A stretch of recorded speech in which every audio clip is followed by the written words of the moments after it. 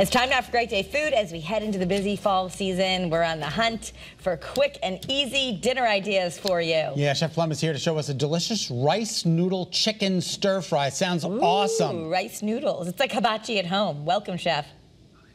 Welcome, you guys. I appreciate. Thanks for having me. This is a great time of year. It's one of my favorite times of the year. I love when the weather starts to get a little chill in the air. The kids are back to school, but you know we're all still working. So Mondays we want a really easy to go meals. What I want. So I want to show you to make this great noodle stir fry that's going to change how your Mondays are done. I've got my whole thing set up back here on my stove. If you guys want to join me back on the camera, I can go through it all to show it to you. Look but check this out, you guys. Here's what I'm going to start with.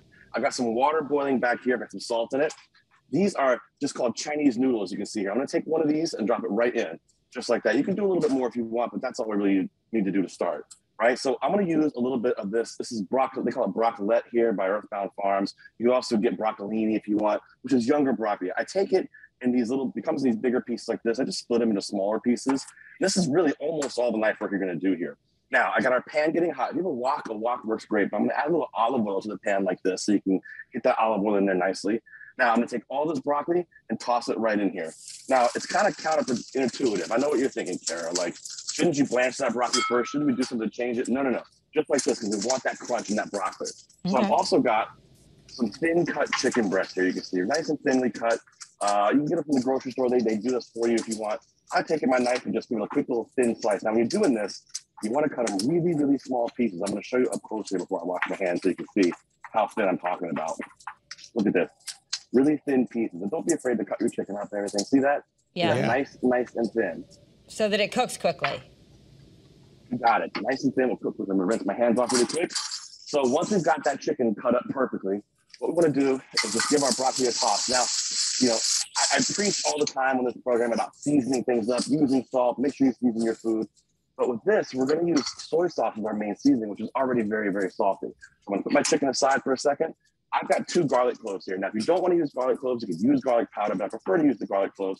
And I'm just gonna slice these into little pieces like this. I'll hold up close to the camera so you can see it here, like that. Okay, now that's literally almost all the seasoning we're gonna put in here, right? I'm gonna put this right into my broccoli. I'm gonna grab our chicken. I'm gonna put that right into the broccoli. And you can make, you know, this this little bit here is gonna make enough for about four probably. So give it a little toss, let that start to cook down. Awesome. That chicken is cut so thin, it's gonna cut, cook super, super quick, which is what we want, right? And this is an easy Monday night meal. So I want that chicken get nice and cooked, easy. Then I'm gonna take my uh, chopsticks out here, give our noodles a turn. They're looking great. Perfect. Then what we wanna do is I'm gonna add a pinch of salt, not a lot. I'm gonna give a little squeeze of some lemon into it. Just that kind of adds a little bit of acid to it. Let's do a little mix around here. And like I said, we want that crunch in that broccoli. That's delicious. We kind of want that in there. Yeah, I can hear my pan sloshing back and forth, I'm sure. And that chicken is already just about there. I'm gonna add a little bit of soy sauce, about a tablespoon's worth. And here's the clincher. You ready? An egg. I'm gonna take one egg, crack it right in the pan, just like that. That egg is gonna add so much flavor and velvetiness to it. Once you get in there, you wanna mix it up like this. That. There we go. And that egg is where you get a lot of that flavor from.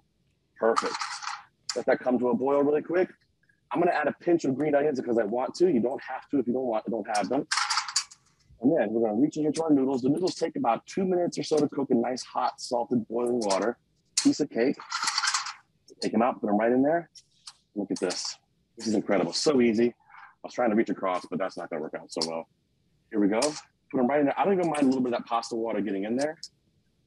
And you could use rice threads with this, those little clear noodles, or these beautiful Chinese noodles work great with this. Give a nice toss up. It's almost like a ramen noodle kind of. Yeah. Look at that. Look how beautiful that looks, right?